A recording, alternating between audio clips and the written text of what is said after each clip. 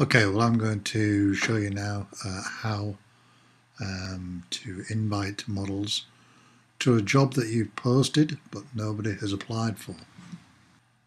Simply go back to search models. Once all the models uh, come up on your website you can look through them and then you can decide, oh, we'll send one to this lovely chap here. Okay. So we'll look at his profile. Sorry, we don't have guys on the site really, this is me. Okay, so within their profile, um, there is a button that says send job invitation.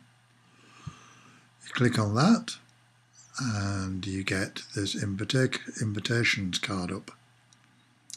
Now, if you've only got one job posted, in here there'll only be one job. If you have several jobs posted, you will get a choice of which job you send the invitation for. So in this particular instance, we're going to send it for this job, job 11. Okay. In here, you might like to put a little something. Um,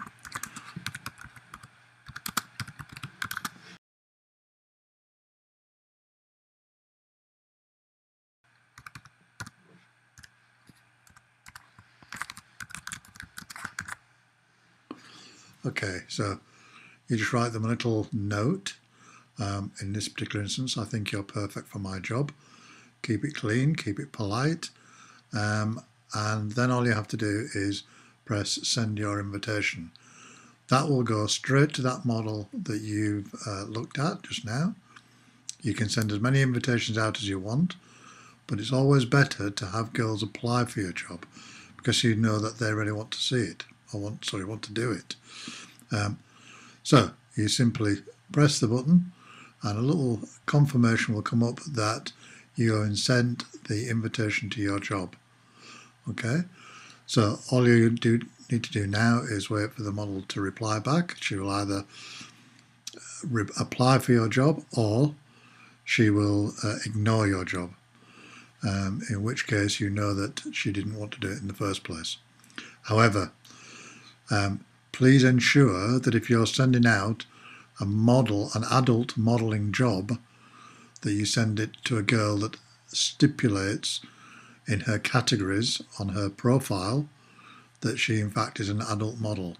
Please don't send them out to fashion or to commercial models because you will only upset them. Um, they would have put adult if they wanted to do adult work. Okay, so that's it. Um, there are plenty more uh,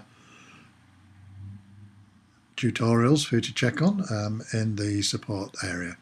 So um, hope that's been helpful.